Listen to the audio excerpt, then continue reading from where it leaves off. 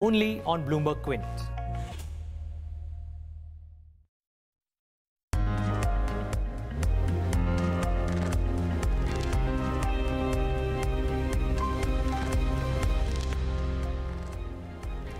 Welcome back. You're watching Indian Open right here on Bloomberg Quint Live. Asia as a pocket is doing okay for itself this Monday morning. We've got uh, green shoots across the screen. Japan is up a whole percent. You've got Shanghai and Hang Seng with gains of about half an odd percent apiece. SGX Nifty though is lying flat, no major moves coming in from there.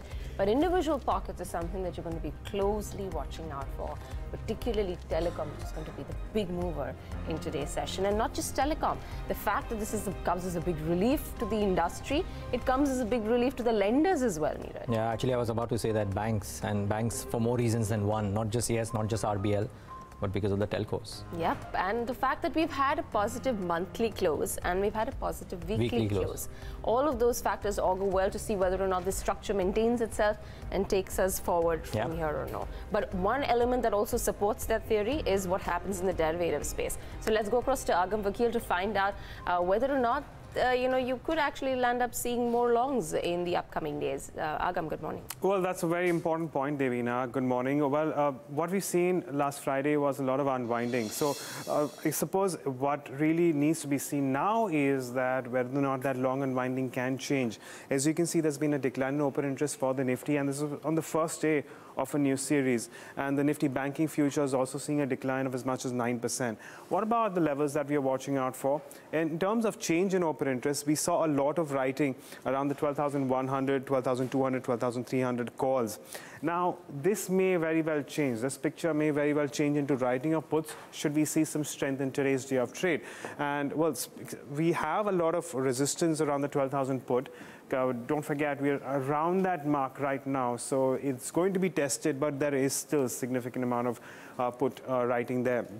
The VIX came off to below the mark of 14, and the put call ratio also really didn't change too much. But in terms of the, the stocks that we're watching out for, besides telecommunications, uh, we'll have Yes Bank in focus along with RBL. Both of them are in the F&O uh, well, uh, uh, space. Adani Ports did see a lot of strength uh, coming in. In terms of stocks which are seeing unwinding, let's bring that up as well. Indiabulls Housing Finance, Union Bank of India, along with L&T Finance Holding, uh, looking at uh, well some unwinding. Again, all eyes will be on the telecommunications sector today, and also how markets react in general to uh, the GDP data that we've got over the weekend. Okay, Agam, thanks so much for putting that into perspective. So we'll watch out for all of these as well. And then let's now start getting in voices and an impact voice on all of the key names that you got to monitor in the session today. There is Telecom, there is Yes Bank and RBL Bank, there is banks at large, and a clutch of other names which were in focus on Friday's session. Start off with Avinash Gorakshakar, a quick perspective from him, head of research at Joindre Capital Services on the show. Avinash, good morning. Thanks so much for joining in. Um, does the whole event around Yes Bank raise more questions than answer them? And therefore, what does it mean for the stock today or over the near term?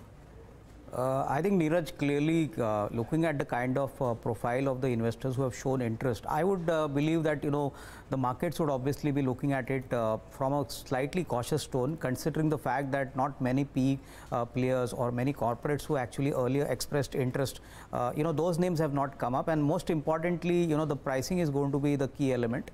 Uh, I would believe that you know the stock may not run up in a hurry because obviously uh, RBI approval for one or two players is going to be very crucial considering the threshold uh, what RBI has mentioned. So I would believe that you know uh, the markets would obviously be divided considering the fact that uh, when this money actually comes in, what is the pricing, and obviously whether these two big investors who have actually expressed interest, especially the Canadian investor, I would believe that you know that could be clearly a kind of a resistance point at least in the near term. I would believe that maybe it would be still be a couple of months away before we could see a big re-rating. There's no doubt that Yes Bank requires a lot of capital to survive, and if they do get it, I think then the next phase of growth could uh, definitely happen, provided you know incremental asset quality doesn't deteriorate. That's an important point, though. Uh, you know, market seems to be a bit divided uh, with regards to uh, how much of an upside can that give to Yes Bank right now. But the other pocket, obviously, aside from Yes Bank and RBL Bank on the back of fundraising, is what's happening in the telecom space. Airtel and Vodafone Idea unveiled new and costlier prepaid plans on Sunday, with Reliance Jio announcing a tentative tariff hike of 40%. Let's discuss the implications with Naveen Kulkarni, Head of Research at Reliance Securities. Uh, Naveen, thanks very much for taking out the time. Let's uh, talk about it. The initial impact, obviously, much positive for a Vodafone and Idea. Uh, an EBITDA improvement, ARPU gets pushed higher as well. I think for Bharti now it stands closer to 138. Vodafone comes, pushes itself a notch up to 117, uh, 115 odd. Uh, do you feel it's already built in and factored in? See, so in case of let's say Bharti to some extent uh, it's gotten built in. Uh, the case for Vodafone Idea is different. So the case for Vodafone Idea was uh, was about survival. So this gives it a much better fighting chance than what it was right? So from that perspective, there is a chance of uh, some equity value creation for uh, Vodafone Idea because otherwise it was pretty much written off that uh, uh over a period of some time uh, they will not be able to fulfill their uh, debt obligations. So that is the case for Vodafone Idea. In case of Bharti, what happens is that the tariff hike is still higher than expectations, so that provide some bit of a fillip even at current price levels. So I would say that probably 15 to 20 percent was factored in uh, the current uh, 25 to 30 percent the blended basis, which I think the uh, tariff hike would work out to, is not uh, factored in. But on the other hand, the thesis of a two-player market also uh, shrinks a bit, right? So, so there are some uh, there are there are mild negatives for Bharti in that sense, but otherwise, overall, on a holistic basis, it's a big positive for the industry as a whole. Mm. Naveen, uh, what's the uptick in EBITDA do you envisage? I mean, various notes uh, peg it between about 30 to 35 odd percent for Bharti. Is that a fair estimate? And therefore, what does it do to target multiples? See, uh, that should be the that should be the fair multiple. Uh, they should be the fair estimate, right? So because incrementally, whatever uh, it could even be higher uh, because the incremental EBITDA which gets generated from the tariff hikes uh, tends to be higher. So, uh, so a 30 to 40 percent kind of EBITDA increase whenever this thing fully fact gets factored in is something which can be expected. See, the tariff multiple, uh, sorry, the uh, the valuation multiple for uh, Bharti was always has been higher on the higher side because the market was valuing it on a uh, uh, on a multiple which was essentially based on uh, a stressed EBITDA case, right? So you buy it at uh, bottom of the cycle at a higher multiple and probably sell it at uh, uh top of the cycle at a lower multiple, right? So that's the theme which uh, uh, people were working on with Bharti. So I don't think so. There is a there is going to be any material improvement in the valuation multiple that Bharti enjoys. If it happens, then I would be a little surprised at this point in time.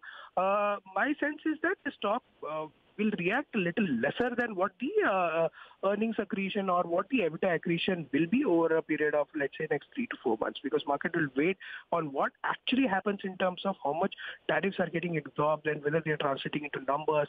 After that, also what uh, the spectrum, uh, sorry, the AGR payout that the uh, uh, company makes. So there are other factors also which the market will have to take cognizance of. What does this do with regards to what uh, you know the TRAI does? Do you feel that there could be any intervention with regards to floor pricing and you know the kind of increases that uh, the players have come out with? See, the problem with the uh, uh, uh floor pricing is that uh, it's a very very difficult regulation to implement because what does happen in telecom is that voice and data are pretty much commingled in, in a 4G kind of an ecosystem right? So even voice coils can uh, transpire through a data mechanism, right? So that's where the challenge will be. So if somebody is doing a WhatsApp call, then it should be counted as data, and whether you, you need to introduce the four plus uh, plan for that or not, right? So that's a very very difficult regulation for uh, the uh, regulator to implement. Uh, at this point in time, I think uh, they are uh, uh looking at a, a, mechanism where the industry corrects itself in terms of pricing so that the industry starts making some bit of, I would say that, returns. however, over a long-term period, whether I see a permanent implication or implementation of a floor price mechanism, I would doubt that at this point in time. All right. Um, Naveen, thanks very much for joining us this morning and sharing your Thank thoughts you. with us on the latest move by some of these telecom operators to increase tariffs and the uh, impact of that on EBITDA ARPU improvement that happens. Uh, should augur, should augur well. Let's wait and watch. Avinash, quick 30 second view if you can on Reliance Industries uh, as well because they've said that they might, they will do the hikes this week. No, I think it definitely is good news for uh, Reliance Industries. I think with a larger subscriber base, uh, a 40% hike in tariffs would obviously add significantly to the EBITDA. But I think what is important, Neeraj, is going forward, you know, one would uh, have to have a look as how price sensitive is now going to be data uh, availability because obviously uh, such a steep hike, I think uh, cannot be, one cannot rule out the fact that possibly, you know, if uh, this hike is not absorbed by the consumers, there could be some amount of resistance from the customers in terms of, you know, their usage going forward. Mm. Okay. Avinash, Sion, so much more to talk about as well. Let's take it to our research team now to talk about the other key newsmakers as well as um, the auto sales. Uh, they got lost in the uh, noise because of a clutch of other news flow out here, but Nikki and Yatin joined in to talk about that. Good morning to both of you. Yatin, auto sales. Now, what do you make of it? Because uh, the headline numbers for maybe a Maruti and a Tata Motors slightly better, but yeah. I mean, is it good enough? So, uh, Neeraj, uh, as you were mentioning, uh, the festive season sales were good. Uh, there was a pickup, uh, you know, uh, in the Diwali period. However, post the Diwali period, you know, auto sales have been not that great. so, don't purely go by the November numbers, you know, since December is expected to be slightly weaker. And seasonally also, if you see, since it's year end, nobody usually buys cars. So, seasonally, obviously, December would be, be slower. Uh, but talking about the November auto sales numbers, they have been slightly better than the street expectations, at least for Maruti as well as uh, Tata Motors. Maruti's total sales were down 2% to come in at 1.5 lakh units. Our uh, Bloomberg Quint poll was close to 1.47 uh, lakh units, so broadly in line with expectations. If you look at Mahindra and Mahindra also, uh, their auto sales were down 9% uh, to come in at 41,000 units. Again, broadly in line with expectations. Their overall tractor sales were down 19% uh, which came in at 21,000 uh, units odd, lower than expectations by 10%. Uh, so the tractor sales really disappointed. However, the management does expect that the Rabi season uh, will lead to pick up as far as uh, uh, you know tractor sales are concerned.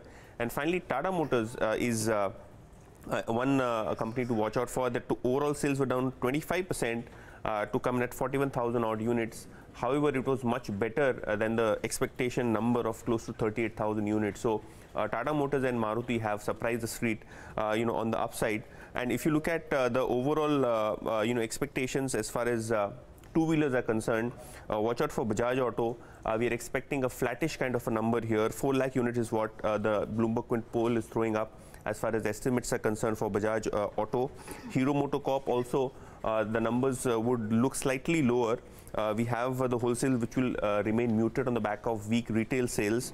total sales seen at close to 5.37 lakh units, down nearly 11.9%. TVS Motors, on the other hand, would also show a double uh, digit kind of a decline.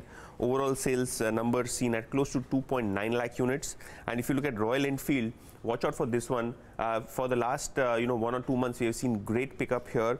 Uh, we have the overall numbers uh, according to the Bloomberg Quint poll to be at close to 68,000 units, and that will be an increase of 3.2 percent. So Royal Enfield is one number again that will I, that I would watch out for as far as November sales data is concerned. So the one standout is Royal Enfield and Eicher Motors, Yatin? Yeah.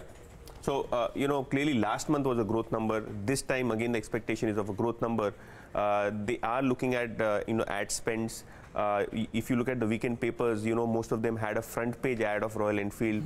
Prices have come down, uh, you know, for most of these cream products. Uh, so hopefully, uh, you know, sales should pick up. Uh, there is some, you know, internal campaign to boost sales and, uh, you know, not only uh, domestic but exports. Exports, Uh, so let's see how really Royal Enfield uh, shapes up for the month of November.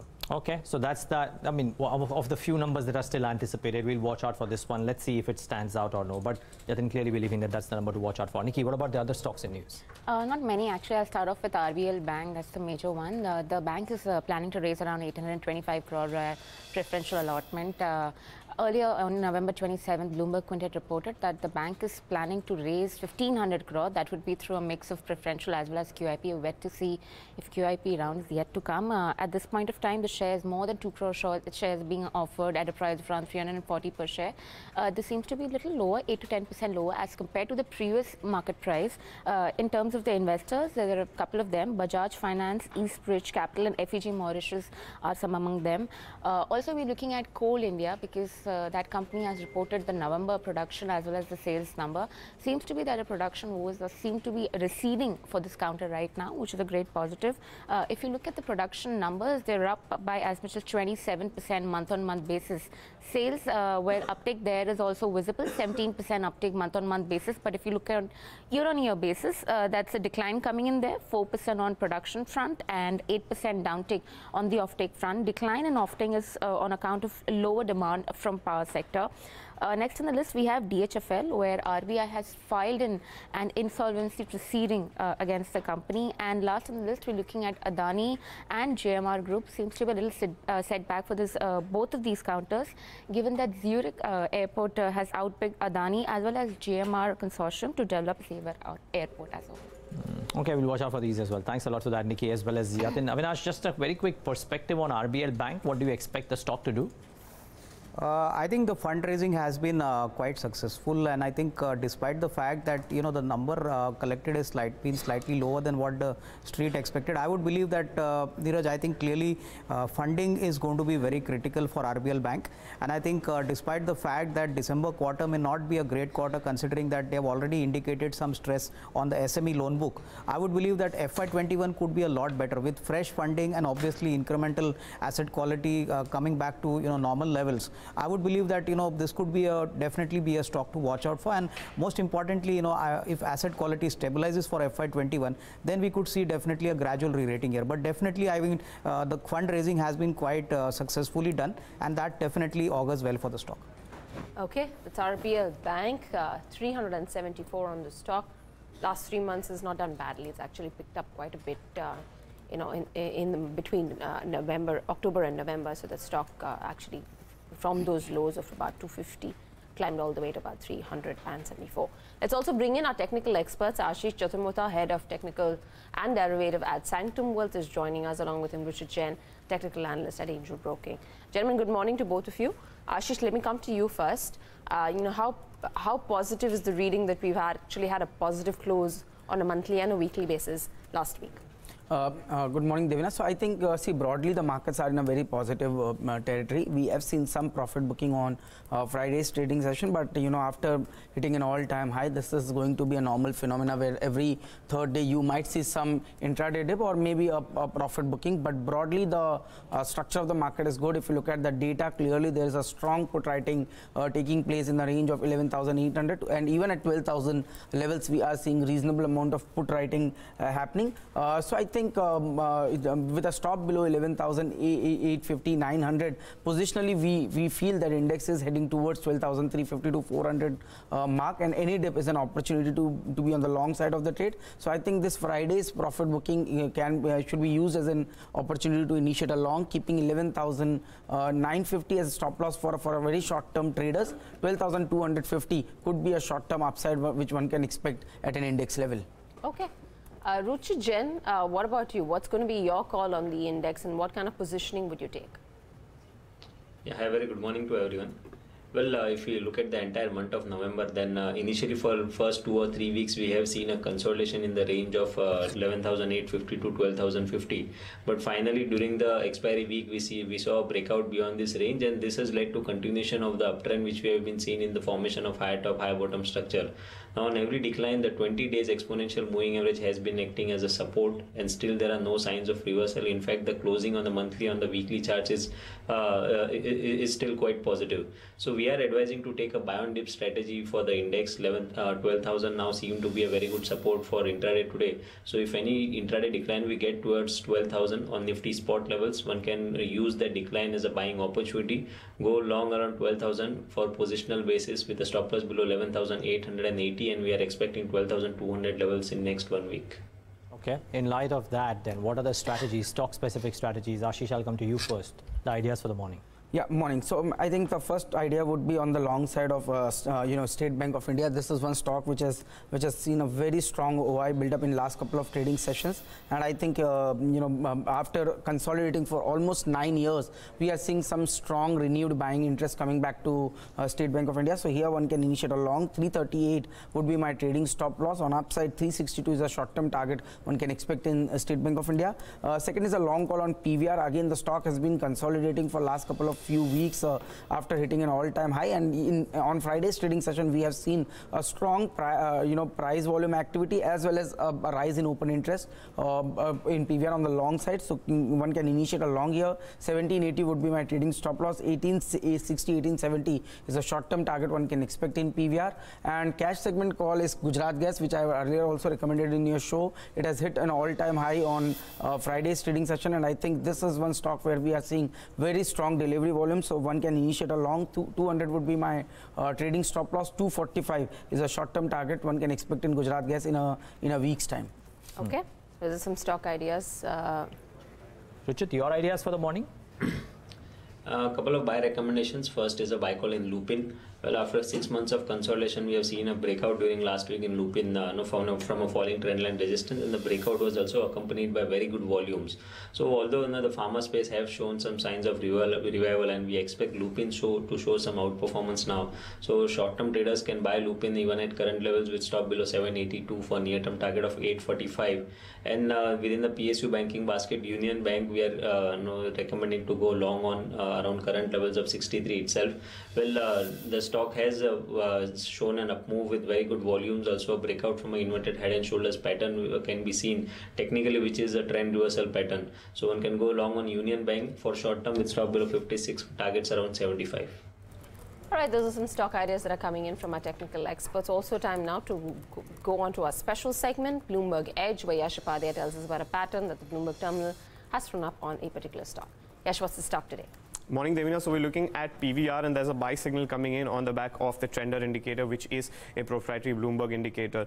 Uh, the trender, as you know, is basically uses the spread between the two weighted moving averages and uses the true range uh, for the purpose of calculation and generating a buy or a sell signal. It also helps you manage your stop loss. How do you interpret it? You basically go long when the trender line uh, uh changes its color from red to green and you go short when it changes its color from green to red. When does that color change happen? When the price moves above a certain mark, which is where the trender is. And that's what has happened when it comes to PVR as well, because uh, the red line, which is the trender line, that had been around the mark of 1800, uh, and it has successfully closed above that mark uh, with the kind of gains that we've seen over the last three days, which has resulted in that change in color. Uh, but not just on the trender, uh, again, uh, taking a look at some some you know patterns that are forming on the charts, and again, we are seeing that it has managed to break out from its from its symmetrical triangle pattern. So as you could see, the yellow lines over here, they form the triangle and it has managed to break above that. And most importantly, it has managed to do so on the back of high volumes as well.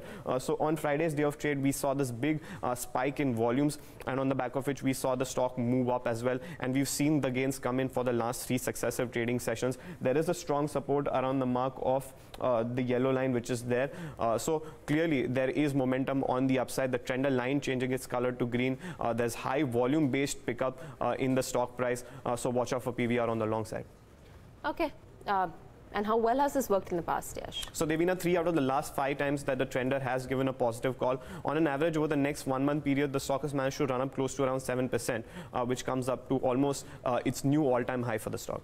Okay, got that. Yash, thanks very much for that. Uh, so that is PVR for you. Uh, watch out for that one. Nonetheless, uh, you know, the other one um, that would like to talk to you about, Avinash, and you know, since we already have a trade on SBI, let's talk about the fundamentals of some of these larger PSU names.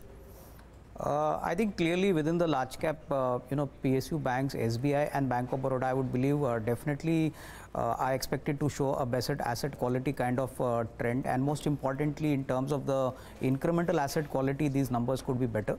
Uh, our sense is that you know the smaller PSU banks still continue to be vulnerable, and I would believe that you know the larger banks itself could provide uh, you know better kind of risk reward bets. Uh, SBI particularly considering the fact that they have SBI ca cards IPO lined up, I think there could be some value value unlocking you know even from this point. But overall, I think the asset quality, the loan book growth, and hopefully you know once the macro numbers improve, uh, you could possibly see better numbers you know from both these frontline banks. Nonetheless, uh, you know, last week was not bad at all for even the smaller PSU banks, which, uh, you know, propped up in trade. So the likes of Corporation, Union Bank of India, uh, Syndicate Bank, all of these names were very active last week. In the last one month, Corporation is up 40%, 7% for Union Bank, but I think bulk of the move came in last week and not last month. Uh, but uh, a quick um, take on any of the Adani Group stocks, uh, Ashish, because we've seen extreme amount of uh, uh, interest, at least from a uh, price standpoint, for the likes of Adani Green. On Friday's session, most of the Adani Group stocks were active. Yeah, so most of this either demerged companies or you know another newly listed uh, uh, players like Adani Green, Adani Transmission, Adani uh, you know gas, they are seeing a very strong uh, you know activity. And if you look at the uh, you know the delivery volumes in these stocks, they are also picking up very well. Only thing is they have give, given a phenomenal returns in last couple of few weeks, few months. So I think the only point is uh, what is the risk reward to go long at these levels? That is something very tricky but definitely i think the if you look at from a very short term the momentum is still very intact. And what we like is basically the names like Adani transmission which has hit yesterday all time high with, with one of the highest uh, uh, trading volume in a, in a, range of almost 18 lakh shares being uh, traded. So i think that's one stock where some upside could, could still be witnessed but it, it should be a trading bet because we have already seen the, mm. the stock has seen up move. 295 would be my trading stop loss. 340 is an immediate short-term upside which one can expect in the stock. Okay. 10 seconds left to go for market pre-open. We're watching out for how what the Nifty does on the back of what SGX Nifty is doing. Asia is green, but SGX Nifty is absolutely flat. Also keep in mind that your GDP numbers are going to have an impact on the currency as well. And the rupee forward suggesting somewhere closer to 71.81 could be the open for the rupee. But that's the Nifty 50 for you. Uh, you've got about a 35% gains coming in there. Uh, Sensex also opening in the positive territory. Individual stocks then, and uh, you know, you have to first focus on the telecom names. Bharti Airtel got a big 10% bump in early morning trade. We'll see whether this sticks. and I just want to look at Reliance Industries, which is up 3% too. That too is up at 1600. And Vodafone Idea should come up to see how it's doing in comparison to the others. And that too is up about 9, 9.5 odd percent. Yes, Bank on the back of that fundraising uh, is up 10% too. Uh, the uh, you know, stocks at about 75 now, but again, first trades on these stocks. JSW Steel, 4.5% higher. HCL Tech is up about 2.7%. L&T has moved up. Uh, SBI is at 345, 346 actually. Uh, Cipla has moved up about a percent. Nestle, Grasim, GAIL, ICICI Bank at 515 are all showing uh, strains of strength. Maruti Suzuki, that too actually is trading positive. That quarter of a percent, not too much though. Uh, what's losing out? Zee, that's down 5%, and that's been hammered last week. Uh, you know, it had moved up but uh, came right back down to under 300 after last week's resignations. BPCL down one and a quarter, M&M is down 1%, Tata Steel Tech, Mahindra and NTPC are top losers in the session. Yeah, and Dish TV too, Devina, you're right, that has corrected quite a bit. So that's top two, and along, along alongside Zee Entertainment is looking like starting off weak in trade. Let's wait and watch. Uh, not too much at the broader end of the spectrum. Maybe RBL Bank, one more stock that I want to mark, and then we'll talk at length about some of the others like telcos. Those are the names that you really need to monitor. RBL Bank too, slightly flattish in the session today. It's important to get one technical perspective on the telcos and how these four or five names, how do the trade position looks there. Ruchit, now too many names out there, but between the five, which looks the best position? A Vodafone Idea, Bharti Airtel, Bharti Infratel. I'll also put in uh, a Grasim and a Reliance Industries here. Which is the best stock technically? So uh, no, if I uh, if I rank them, then top two would be Reliance Industries and Bharti Airtel. Certainly because of the outperformance that these stocks have shown, even when uh, the entire sector was undergoing a lot of volatility. Now Reliance Industries, uh, the stock has been continuously forming this high bottom, high top, high bottom structure, and as per the reciprocal retracement theory, the targets for the stock are coming uh, somewhere around 1700, 1720 over, uh, in the short to medium term. So I think Reliance would be the first pick uh, where if I have to go long, then one can certainly create long positions for target around 1720. And Bharti Airtel certainly, you know, this stock is looking quite positive. Recently, we have seen a breakout above 390, 400, which was its resistance. And during last week, we have seen the formation of a bullish flag pattern on the daily chart. Now, once we get a breakout above this flag pattern, maybe in today's trading session itself, then we could see levels around 510, 520, which were the earlier highs. So Reliance and Bharti, these two would be the top picks. Okay. Avinash, uh, Yes Bank, the way it is looking like starting off seems to suggest that the market likes the fact that there is a fund raised exactly. as opposed to quality of the yeah. uh, people who are coming in. My question is if you had if you had an investment or a trading position, whatever you may have had in Yes Bank, fundamentally, would you take it off the table if the stock indeed starts off, say, to 7 or 8 or 9% higher? Uh, I think, uh, Neeraj, uh, you know, most of the asset quality concerns have been built in. I think the market is slightly worried on incremental asset quality. And our sense is that, you know, this uh, $2 billion funding, if the company manages to get it, uh, despite the fact that the profile of investors may be a little shaky, I would not be surprised that, you know, around 65 to 70, the stock could consolidate. And obviously, once the funding comes in, there could be a reasonable amount of, uh, you know, interest again coming in. I think markets would obviously look at how, you know, bottom line numbers pan out. But overall, I don't think you're going to see any further panic sell-off. But overall, I would believe that you know it's going to be a slow ride. At least in the near term, earnings are going to be impacted. We could see only earnings numbers getting a better kind of picture and quality by FY22. So FY21 may see a weaker ROA or a weaker ROE. I think FY22 is something the market should bet on, and to that extent, a price of 65 to 70 for a high-risk investor could definitely be you know preferred, provided he is willing enough to take that kind of call on this bank. All right, high risk investment there on Yes Bank, but may not be a high risk trade though. What would you do with that? Uh, see, generally we we have avoided this this stock for for a very long long time. But I think if you look at the structure of the chart, in the, at least in a shorter term or medium term time frame, stock has formed a very good inverted head and shoulder formation, and which indicates that once the stock crosses this 74 75 area, there is a strong possibility of a stock hitting 95 to 100 uh, kind of zone. So I think the risk reward is favorable. Uh, on downside, 64 63 is going to be a very very crucial uh, support which is basically the low of the right shoulder. So keep 63, 64 as a stop loss on the closing basis. I think Yes Bank has a potential to see at least 18, 20% kind of upside from, uh, from Friday's uh, closing level. But it's cooling off, Devina. I mean, you may look like it is starting off 9, 10% higher, but now just about a percent and a half, some gravity. Yep, uh, Bharti Airtel though stays perched at about 10% higher. Now, you look at the index itself, it's up about 8 tenths of a percent, but don't go by that because it's just Reliance Industries, which is 3% higher right now, and that's the reason why the index is up about three quarters of a percent. Yeah, but it doesn't seem like it's coming on the back of a very weak GDP print. Is the GDP print also discounted? Four and a half, no news, nothing, not, not unknown. And is that also a point out here? I, I take on board your point completely. It's Reliance Industries which is helping the index. Well, it doesn't seem like it's coming on the back of a weak GDP print. It's not because you know, and, and I'm like I'm saying, why I'm saying Reliance is is probably because this this is the only heavy-weighted stock. I don't see HDFC Bank anywhere in the top 10 list. Uh, you know, I don't see an Axis Bank there as well. I don't see a Kotak Bank there. Uh, so it's just Reliance Industries. Bharti Airtel is not a very big heavyweight, hmm. though it is 10% higher, and neither is Grasim or Infratel or UPL or JSW Steel, which are your top five gainers. You don't have heavyweights participating today. It's Reliance. It's just Reliance, which is chugging along and pulling the index where it is right now. Uh, let's talk about a trade on Reliance, Ashish. So I think Reliance is looking strong only, and uh, since the, the, way it has been hitting an all-time high, I think stock is poised for a move towards 1650, 1670. Uh, keeping 1540 as a trading stop loss is what I would recommend for going long into Reliance. And even uh, you know, uh, Neeraj was asking a question on, on telecom space. So I think Bharti Airtel is something which is looking very very promising on the 10%. on the chart.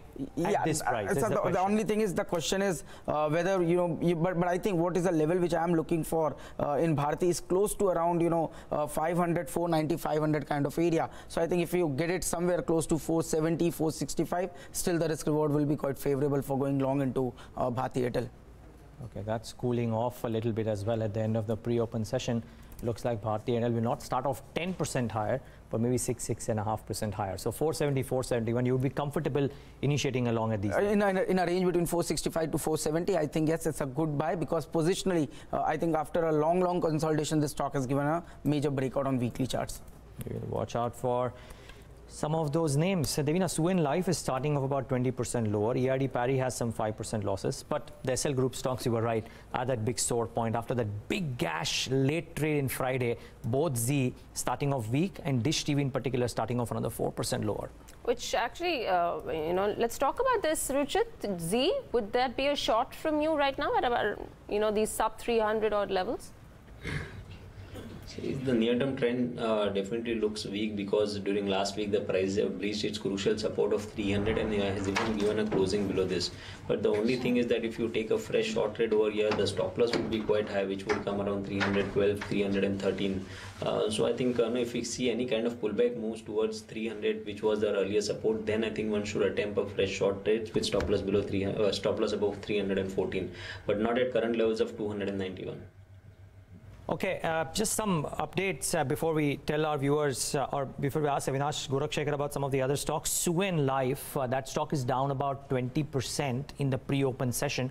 And the reason being one of the key molecules, which is SVN 502, that missed, it, that missed its target outcome and a golden opportunity of making a large out-licensing deal. This was the driving point um, of the uptick in Suven valuations for the last six months. If you just look at the chart of Suven Life for the last few months, you will see that by and large, it has done much better than maybe some of the other pharma peers. And now, uh, look at that. One month chart is down 10% because of this downtick of 20%. Otherwise, it was on an uptick uh, three months as well. The correction has happened because of the, the downtick is because of that 20% downtick today. Otherwise, this year has gained about 12%, but all of that gets lost out, or some of it gets lost out because of this 20% downtick today. So do watch out for Suven Life Sciences in the session today. It's already down 20%, but don't quite know if there is more in store. Avinash, a lot of people might think that uh, it might be a good idea to go out and initiate a contra call on Dish TV at these levels. Would you do that?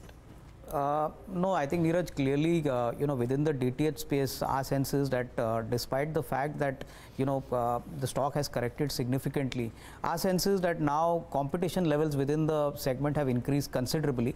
And I think incremental growth in terms of subscriber additions is going to be extremely tough. So I would believe that, uh, you know, considering the fact that uh, they are already pretty highly leveraged and, you know, losses at the bottom line have actually increased, I would be a slightly be a cautious investor here. And I think it's better to wait for at least one or two quarters. I think clearly uh, looking at Reliance, you know, broadband kind of initiatives, despite the fact that there's been a slow kind of uh, ramp up there, I would believe that in uh, future it's going to be directly competing with Reliance. So in terms of the competition, in terms of the cash generation, Dish TV definitely I think is a stock which possibly could underperform in the near term.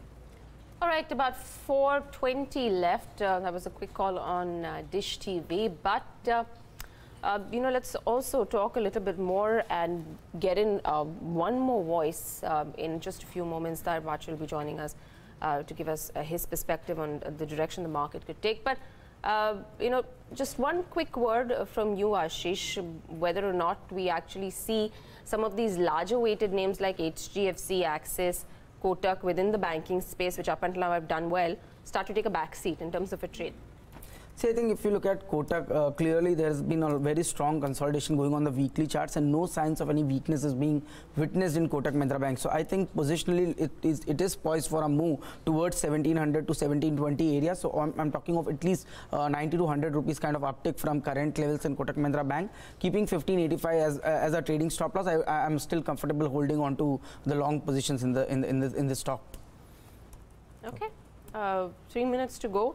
Ruchit, anything that uh, you know you feel over uh, pre-open right now where we've seen some amount of moves coming in there. Suven obviously being uh, you know a big downtick on the back of some news, negative news that's come in.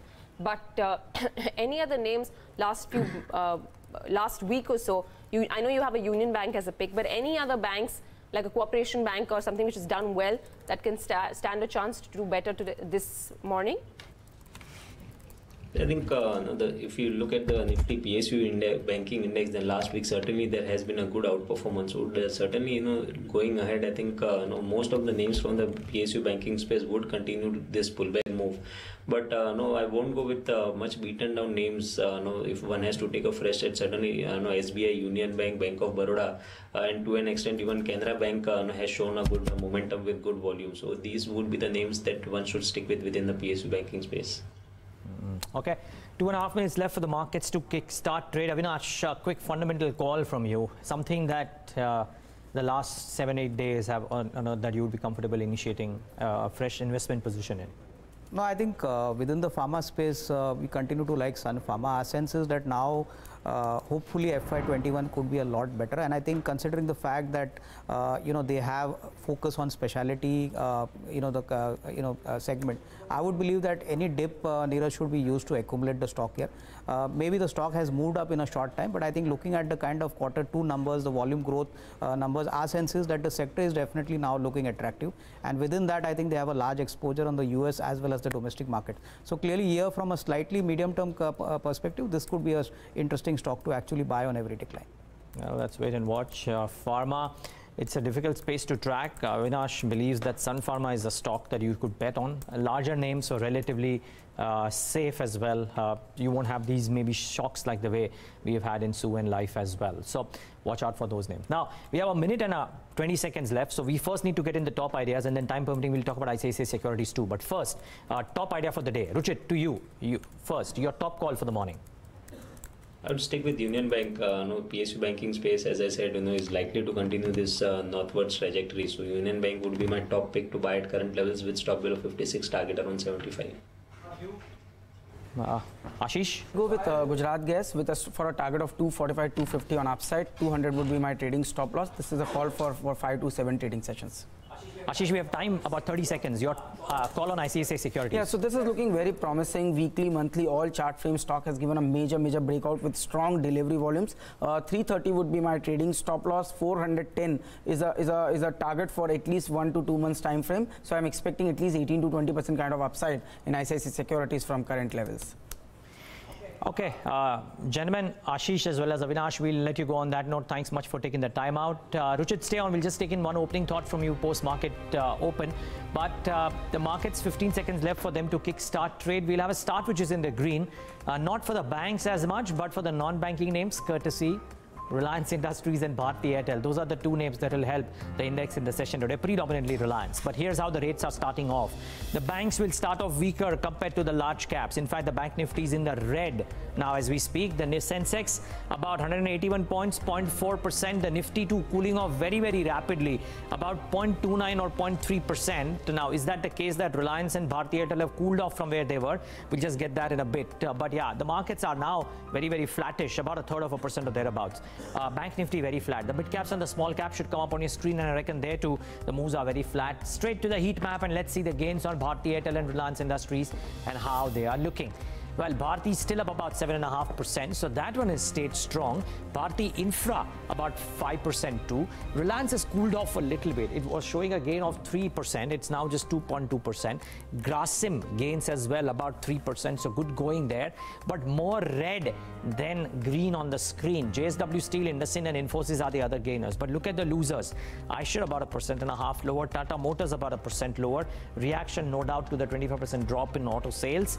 Uh, yes, Bank in the red. So no, we were talking about will the market view this positively? Immediately on open, Yes Bank is in the red. Uh, certainly people not quite comfortable with the investors' names. Bajaj Finance, I must say, has gone under a bit of a cloud the last few days, down another percent in the session today. Weakness in Hero MotoCorp, HDFC, Power Grid, etc. as well. So a lot of stocks looking weak. It's just the telcos and Bharti Airtel in particular, which is looking very, very strong. Very quickly, before I hand it over to Devina, since we are talking about telecom, can't not mark today what's happening to Vodafone, what would be happening to Vodafone Idea and Grasim uh, and the likes as well. 17.5% for Vodafone Idea.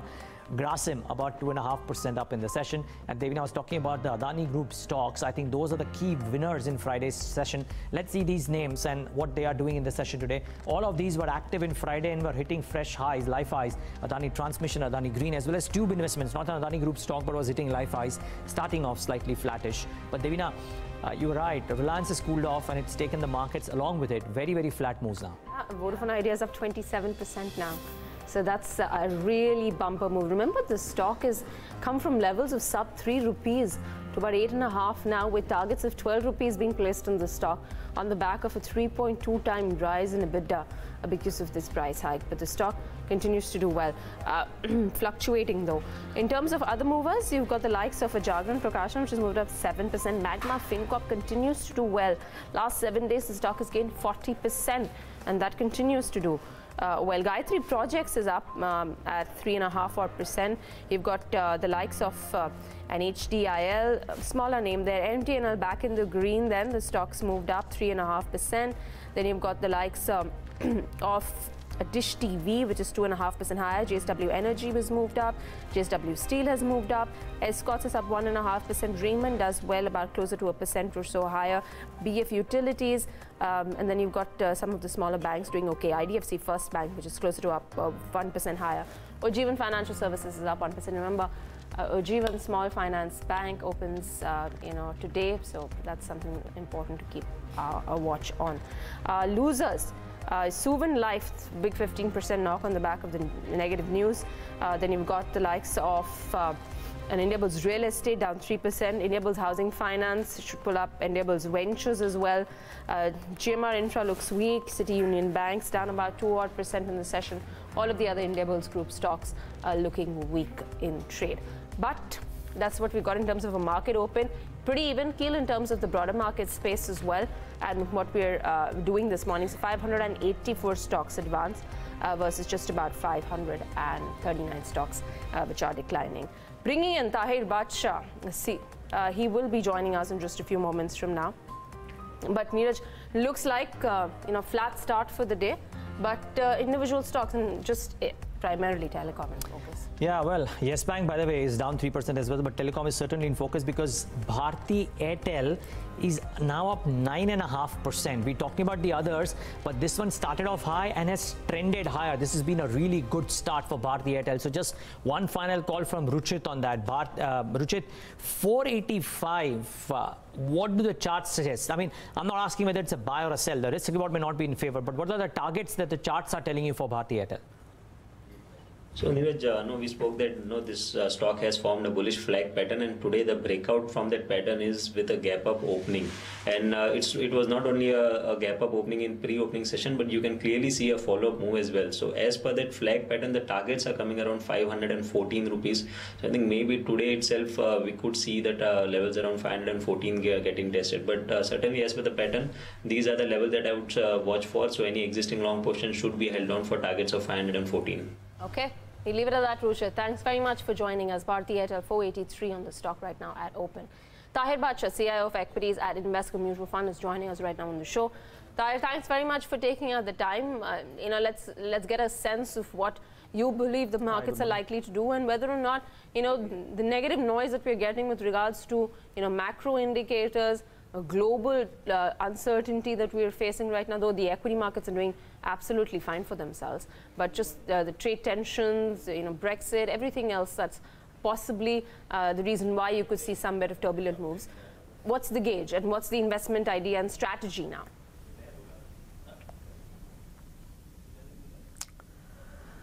So, well, I would think, uh, uh, you know, uh, basically, I think, uh, obviously, as we know, markets are forward-looking, and uh, uh, you know, at some level, it is also about expectations versus reality. And I think, in the last six, eight months, we've been having quite a tough atmosphere in terms of many issues, either globally as well as. especially with respect to the domestic market, particularly with regard to the banking and financial services space. And I think uh, incrementally, if we look at it uh, from uh, where we were, let's say in October, November last year to now, and some of the uh, uh, big fears and anxieties which were there in the market. I think one by one, gradually things seem to be receding. Uh, not to say that everything is hunky dory and every problem has been solved, but I think the expectation that the NBFC crisis would probably become a lot worse, and you know the domino effects and the collateral damages would be substantially higher. I think that has not necessarily played out. I think some of the uh, issues with regard to some of the entities which were in stress is gradually getting resolved as they are able to kind of raise, uh, are coming closer, if at all, to raising money. So uh, system seems to be settling down. We also probably had a situation where government response was uh, uh, not as strong. I think this time around, uh, in the last few months, we've seen reasonably better action out of the government. Uh, not that there are a lot of big bang reforms, but I think quite a number of policy measures seem to look like, uh, you know, they're all constructive. They're all well intentioned. They they should add up to something. Of course, there is the corporate tax cut, to which in the meanwhile supports earnings. So I think uh, we're kind of getting out of the uh, very tough groove that we were in uh, uh a few quarters ago. Uh, it's still going to be a arduous journey, but uh, I think market, like as I said, is banking on incremental. And last but not the least, I think the global liquidity situation and the domestic liquidity situation will continue to kind of drive markets, at least in the near term. Hmm. Taher, do you expect 2020 as a year to be much better than what we've gone through in you know 2019 but the period you know from September 2018 to September 2019 has been a really rough ride for the equity markets um, you know pain points across the board um, not just the banking system now though you could expect a little bit of recovery for some of these bigger banks and that could uh, spur some more interest back into them but as a year 2020 do you think we turn a new page I would think so. I think quite a number of some of the measures which have been taken in the recent past uh, will kind of uh, play out gradually. I wouldn't use the term much better, but I think it will probably be a better year compared to 2019. Uh, we will obviously see base effect. Uh, we will see, um, uh, you know, liquidity in the system kind of helping growth come back. I think NBFCs after a very sharp 30-35% contraction uh, should kind of uh, settle down. We'll obviously see um, a differentiation between uh, NBFCs and NBFCs, but I think the system will probably revert back to some normalcy of growth. And I, I, at one level, NBFCs do. I mean, if, if they get the liquidity and uh, you know uh, they are they are able to uh, borrow in the market, I think they will drive demand. So, in case of NBFC related growth, supply creates its own demand, and I think uh, some part of the demand um, uh, erosion that we saw in the 2019 year uh, was to do with the supply impact at the NBFC level. So, so yes, I would in totality, I would probably think that uh, it's a bit of a risk-on market um, uh, from a global standpoint as well as uh, you know from a domestic perspective. We should see um, things settling down. Consumer sentiment can probably get better, and we're kind of hoping that you know we will see some bit of spark out of the rural markets as well as uh, uh, as food inflation becomes a little more beneficial to uh, rural incomes and uh, you know government spending in the rural areas becomes a lot more supportive. Taher, uh, you know, I just want to uh, get your view on how you. So, you know, a few months ago, we actually saw a period of peak polarization where the weightage of the top Nifty 50 stocks hit highs of about 64% versus the bottom 35 stocks. Now that historically has been a turning point where, you know, you in the, the rally that um, follows this period of peak polarization, you have the bottom 35 stocks starting to move up and a backseat being taken by the top 10 drivers. Uh, We've started to see that happening. So from the peak weightage of 64%, it's come down to about 62% already. Do you see that, uh, you know, probably unfolding in a, in, a, in a more larger fashion where you see a bigger impact from the bottom 35 stocks? Yes, absolutely. I think uh, this, it's all a function of uh, where we are in the overall growth cycle. And I think if uh, the overall economic growth cycle were to become a little more uh, broad-based, uh, and which is what I would probably think uh, will likely happen in 2020, I think it's a it's a fair game that you know the markets will broaden. Uh, and uh, I mean, why should investors just chase 10% uh, stocks, 10% growth stocks at 50, 60 multiples if there are uh, opportunities uh, wherein you can probably see either similar growth or uh, probably slightly better growth, maybe at half or one fourth of the multiples. So it it's it's going to be a rebalancing for sure at some level as we see, and it's happened in the past. It's not that it is something which has not happened. We've seen it as late as two years back when there was a substantial rally in mid and small caps. And at that time, large caps uh, valuations were not as high. So I think uh, that, that mean reversion uh, is uh, more or less a given. And I think the right triggers would obviously be the uh, the recovery in the growth cycle. So yes, uh, this will start coming down. As you rightly said, we're already starting to see that.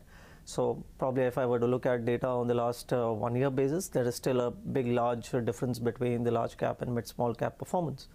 But I think when we zoom it down to the last three months, we see probably parity uh, within uh, performance of large, mids, and small. So I think uh, it's starting to happen. It's in the early stages, but uh, it should uh, probably unfold a lot more further in uh, in the course of 2020. Watch out, Bajaj Finance is down about 2.5%. Is the second worst performer on the Nifty 50 today. We're talking about uh, the heroes of the last rally just starting to take a bit of a pullback from 4250 or thereabouts. This one is now at 3982 despite a very successful QIP. Just some money uh, getting rotated. Taher, good morning. Neeraj here. Um, Taher, the tide seems to be turning for some specific pockets in a meaningful way and can't not discuss telecom here. What is your view, Taher? Do you think that after the news is out of the bag, but maybe some of the impact still to be felt for the next few quarters fundamentally, is there merit in trying to own any of the telcos?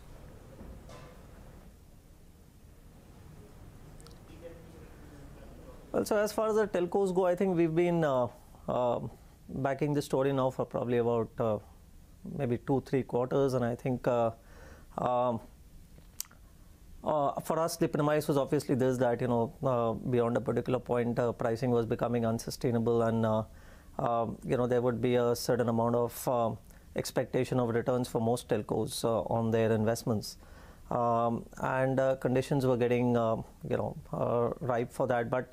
Obviously, we didn't know as to how it would manifest itself and how it would play out and with what intensity. So, I think what is currently happening is not uh, exactly out of line of our expectations when we uh, when we started to look at these names. Uh, they have done a fair bit in the recent past, so and they are responding to some of the recent announcements and the changes to the pricing structure. I think obviously there is room for price increases to happen further as well but it's a fairly large quantum immediately. We need to see at the ground level how customer response is and uh, um, you know what eventually is the kind of uh, benefits which accompany some of these price increases. So uh, we'll, we'll uh, from here on, I think it is important to allow the system to stabilize and see what the net impact is. Uh, you know, uh, these are ultimately not businesses which will not have any uh, capital intensity. Um, uh, somewhere down the line, spectrum-related, um, you know, investments, etc., will probably once again come back into play. Maybe not immediately, perhaps uh, four to six quarters down the line. So one has to brace for that as well. But yes, it does give a lot of uh, comfort to many of these telcos to come out of the hole, uh, improve their balance sheets, uh, and uh, you know uh, markets are have responded a fair bit to some of these some of these developments as well. Mm. Taher, the other question is on uh, PSUs of the divestment theme, and I want to understand what a large CIO of, uh, of a large mutual fund managing public money would do. I've spoken to a number of private investors who are saying that they would tactically allocate some capital to divestment, citing what happened in 2004 when Arun Shourie announced that disinvestment plan, and now we have a firm disinvestment plan in place. Is there merit in putting money to work in the government-owned entities? Well, there is merit um, in uh, putting uh, money to work, uh, uh, irrespective. I mean, provided you create a decent quality portfolio out of uh, um, the PSU basket. So it is uh, just like as it works in the private sector space. I mean, even in, within the PSU, you have to be selective about the kind of companies that you um, you know build into your portfolio. as you know, we run one of the perhaps the only two or two PSU funds which are available in the market today, and uh, we've uh, managed to uh, kind of run this portfolio reasonably successfully over the last many years. Um, you know, so to that extent, I think. Uh, and it's it's a large part of it is due to the way the portfolio has been structured and the stock selection has happened. So uh, we can't take away that from the equation, uh, despite the fact that yes, I would agree that there is merit at this stage, given the fact that you know there are two three things that work for PSUs. Obviously, the fact that uh, government um, uh, you know plans around strategic disinvestment etc should probably help uh, some bit of re-rating in PSUs. it gives you a chance to probably participate in many of the core sectors in the economy and like as I said if you're probably looking at possible economic revival in the next uh, uh, couple of years, then uh, clearly many of the PSU businesses would stand to benefit out of that. And more recently, I think we've seen quite a number of new, unique uh, businesses uh, emerge uh, through IPOs, etc., in the PSU space, which provide for um, you know an opportunity to own some some of these and uh, uh, many of them do tend to be you know monopolies virtual uh, virtual monopolies or duopolies in many of their businesses so i think uh, uh, we can't take away the fact that you know stock specific uh, stock selection is of you know vital importance as far as the running of the PSU is concerned but I think you know if you get that equation right they can at least give you a 10% kind of earnings growth in the base case. Uh, so without re-rating as well, I think um, uh, you know early double-digit return is uh, possible, and uh, that is probably something that we've kind of been able to deliver in the recent past. Mm. Bharti is now up about seven and a half percent, with Zee uh, being up in the session by three, three and a half odd percent, and Reliance too up about three and a half percent. Uh, Taher, one last word from you with regards to any portfolio rebalancing in terms of sector weighted changes that you would recommend?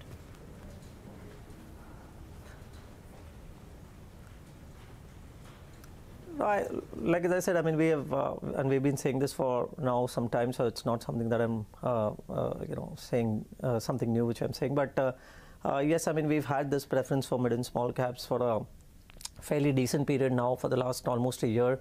Not that I, that it necessarily worked out for us as much, but I think it is beginning to work, uh, and we we are continuing to kind of you know. Uh, uh, see value in some of these, uh, in many of these uh, cases, and uh, we're happy to kind of bite into them.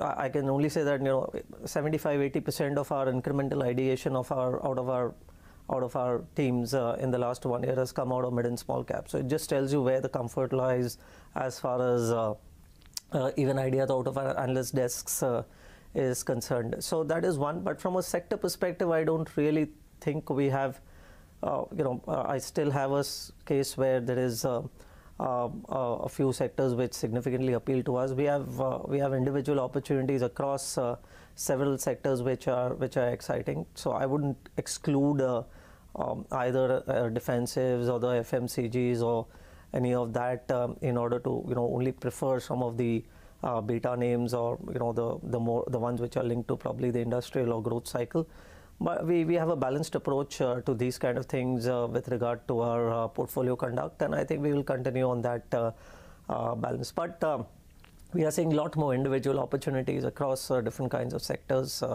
bottom up so to speak and that's the way to go okay Taher, thanks very much for joining us. Really appreciate your time this morning. Pleasure. Thanks very much. All right, moving on. Ujjivan Small Finance Bank's IPO opens for subscription today. A few months too late for the RBI's liking, but the issue has some prominent anchor investors. Shefali Malik's here to tell us more about the IPO. Shefali. Well, the IPO starts today and it ends on December 4, and it has been priced at about 36 to 37 rupees a piece. Uh, and uh, it's a fresh issue, uh, so um, uh, it's a fresh issue, so the offer for sale is about 15 to 16 percent, and the proposed fundraise is to the tune of about 750 crores. Remember, they've already raised about 250 crores in a pre-IPO placement, and how the issue is placed in terms of allocation. The for qualified institutional buyers, it's 75 percent. For non-institutional buyers, it's about 15 percent, and retail investors 10 percent.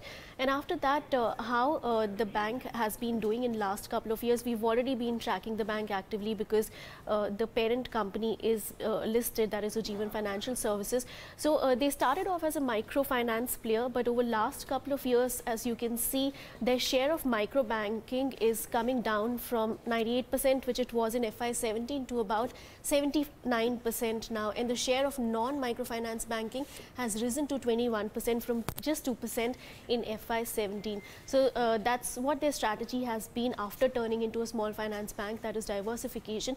In terms of uh, absolute numbers, uh, advances, they've grown from 7,000 to 12,864 crores.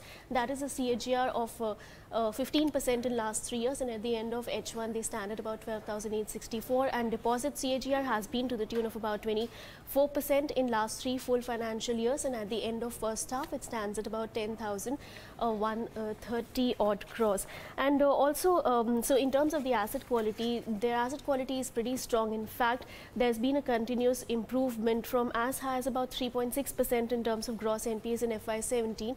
They've brought it down to 0.85% at the end of uh, uh, first half of FY19 and another endeavor of theirs have uh, been has been uh, to bring down the cost of funds uh, by focusing on the retail deposits which now form about 41% even though the CASA ratio looks a little less about 11 odd percent. And what's the peer comparison like? Uh, well, I've compared it to a couple of players, hardcore microfinance players, and also a couple of uh, banks. Uh, so, in terms of comparison, their return on net worth in FY19 for Ujjivan Small Finance Bank stands at about 11.5%, Bandhan 18.96%, Equitas, which is the closest peer, 7.5%. Credit Access, Grameen, and AU Small Finance Bank are a bit on the higher side. So, uh, so rightly justified in terms of price to book, they command a little lesser price to book at about 2 nine times and in comparison to some of the other more diversified banks as well like DCB Bank and RBL Bank etc because they also have some exposure to MFI and MSME which they've been trying to focus on.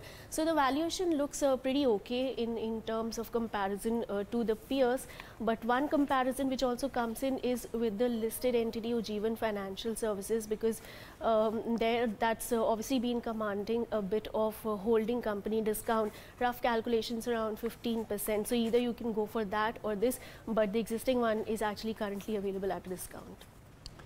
Okay, um, Shefali, thanks so much for putting that into perspective. That's with regards to the IPO that is open today. We take a break on the note that the markets are well, flattish for the time being, uh, a third of a percent and nothing too much, and that is courtesy Reliance Industries. But coming up, we discuss how DLF plans to beat the real estate slowdown with CFO Ashok Tyagi.